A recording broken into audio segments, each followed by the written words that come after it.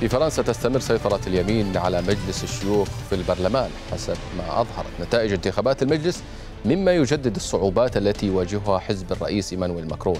وتعكس نتائج هذه الانتخابات المحلية افتقار حزب النهضة بزعامة ماكرون إلى القاعدة الشعبية واستمرار تراجع أدائه. فما تأثير هذه النتائج على المشهد السياسي في فرنسا؟ وهل يمكن أن يضع اليمين في المجلس العراقيل أمام الحكومة؟ للنقاش ينضم إلينا من باريس الكاتب الصحفي جان بيير بيران أهلا بك. إلى غرفة الأخبار وإلى سكاي نيوز عربية سيد بيران. يعني فيما يتعلق بهذه الانتكاسة إلى أي درجة بالفعل آه، اليمين يواصل هذه الهيمنة؟ ما مدى الانتكاسة التي تلقاها حزب الرئيس ماكرون؟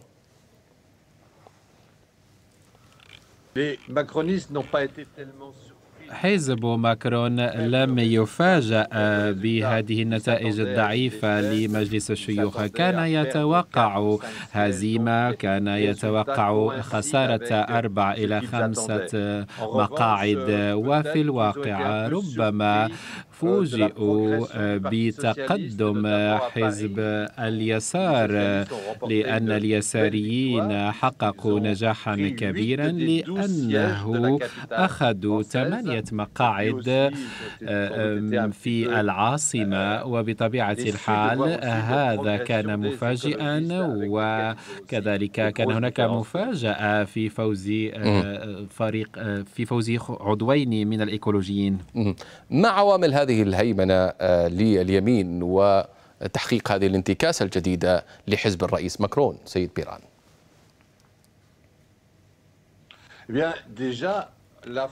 مسبقا فرنسا في هذا الوقت ليست راضية عن أداء الرئيس الفرنسي. هناك أزمة اجتماعية وكذلك الرئيس ماكرون يوصف بأنه متغطرس مع الفرنسيين. هناك العديد من النزاعات الاجتماعية التي فرض ماكرون رأيه فيها وخصوصا مسألة إصلاح التقاعد حيث الغالبية من الفرنسيين لا يريدون ذلك الإصلاح. كل هذا ترجم في هذه الانتخابات جزئيا. في الولاية الأولى عندما كان يشغل ولايته الأولى الحزب الماكروني لم يسعى إلى التغلغل في كل المدن والبلدات والدوائر الانتخابية والناخبون في هذه الإدارات والمنتخبون هم الذين يصوتون على الشيوخ. ولذلك كان هناك حضور ضعيف في الميدان. أيضا المناخ الاجتماعي ليس جيدا وكذلك هناك الهزيمة لحزب ماكرون في عدد من الملفات. يعني يعني المجتمع الفرنسي ليس راضيا عن هذه الحكومة عن الناحية الاجتماعية. وصفت الأمر أيضا بتغطرس شخصية الرئيس ماكرون. فرض الرأي موضوع التقاعد كان له أثرا تابعناه آه، يعني بتفاصيله في المشهد الفرنسي. لكن ما المقاربة إذا التي يقدمها اليمين أمام آه، هذا الغضب على حكومة ماكرون؟ اليمين راض عن هذه النتائج؟ هو قد خسر أربعة مقاعد وهذا ليس بالرقم الكبير ولذلك هو لديه نحو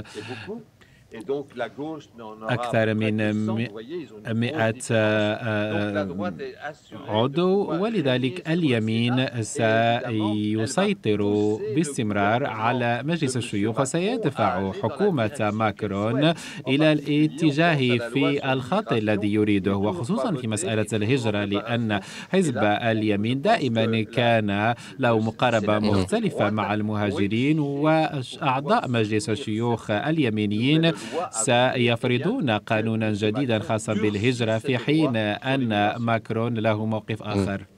أه، يعني في رأيك الآن في ظل كل ما نشهده ما تأثير هذه النتائج سيد بيران على المشهد السياسي في فرنسا؟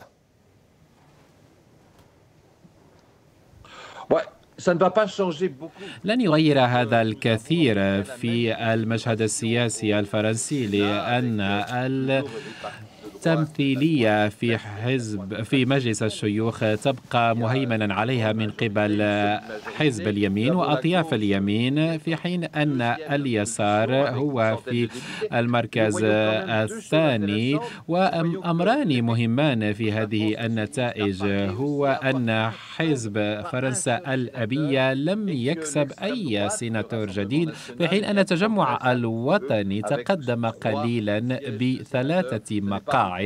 هذا ليس عددا كبيرا لكن مع ذلك هو كسب هذه المقاعد. لا ننسى أن هناك 348 عضوا في مجلس الشيوخ ولذلك لا اليمين المتطرف ولا اليسار المتطرف تمكن من إقناع الناخبين في مجلس الشيوخ.